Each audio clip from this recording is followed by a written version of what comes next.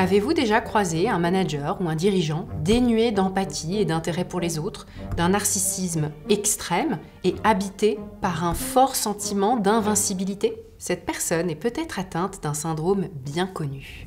Pour comprendre la notion d'ubris, il faut se plonger dans la mythologie grecque. L'ubris, c'est la démesure, c'est ce qui vous vaut la colère des dieux. L'histoire d'Icare en est un bon exemple. Pour sortir du labyrinthe où il était coincé et échapper au vilain minotaure qui voulait le manger, Icare, avec l'aide de son père, a fabriqué des ailes en cire avec des plumes d'oiseaux pour s'enfuir par le ciel. Mais il a tellement adoré la sensation de voler et le sentiment de puissance qu'il en tirait qu'il s'est trop approché du soleil. Sa punition, ses ailes de cire ont fondu et il est Les Grecs anciens avaient une morale de la mesure et de la sobriété qui n'aimait pas l'orgueil. Une ambition personnelle trop forte, une quête de pouvoir sans limite et bam, vous êtes puni par. Il faut reconnaître que leur sagesse n'a pas fini de nous inspirer, tant l'orgueil fait des ravages au travail. Culture toxique, harcèlement, intelligence collective impossible, le mal-être se dissémine et sabote toute motivation.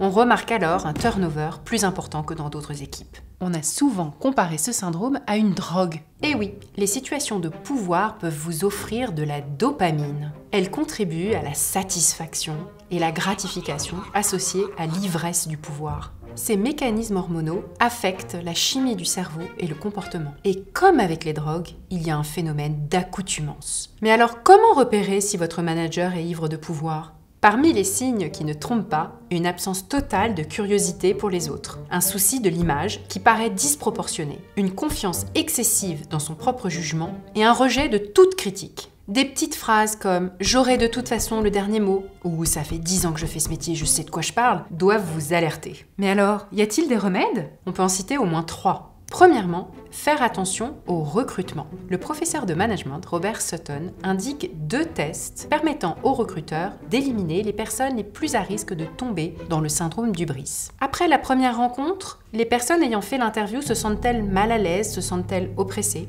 Le candidat prend-il pour cible des personnes qui ont moins de pouvoir que lui? Deuxièmement, développer une culture de l'apprentissage dans l'entreprise. Il n'y a pas les sachants d'un côté et les personnes ignorantes de l'autre, mais une équipe qui ne cesse d'apprendre au contact les uns des autres et qui va régulièrement à des formations, y compris les managers.